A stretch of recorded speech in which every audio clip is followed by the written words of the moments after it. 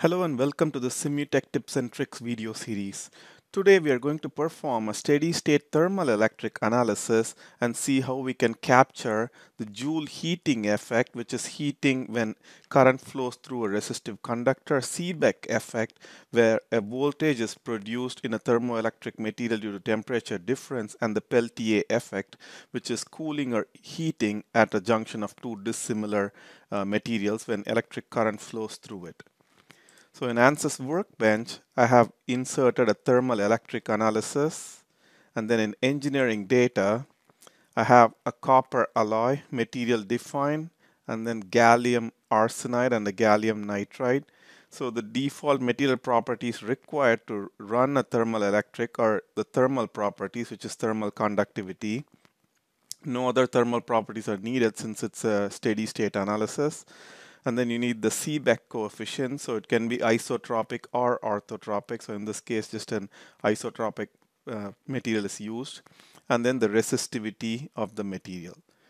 So and then if I go on to the ANSYS mechanical window, this is the geometry I have. So this these three parts are made of uh, copper alloy. And then this one is made up of uh, gallium arsenide and the other one is made up of gallium nitride.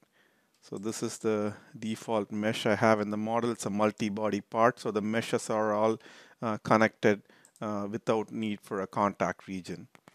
So under analysis settings, I have a temperature boundary condition applied on top of the copper alloy. There is current of 20 amps flowing in from one side, and then the other side has uh, zero voltage or it's grounded. So if you look at the results, you can see that due to the dissimilarity of the materials, there is Peltier cooling effect going on. And so the initial temperature, which was 22 degrees C, uh, should have allowed the entire system to be at 80 degrees C, but instead due to the cooling, you see a 77 uh, degree temperature on this side, and then uh, a slightly um, lesser, less than 80 degree value on the other side.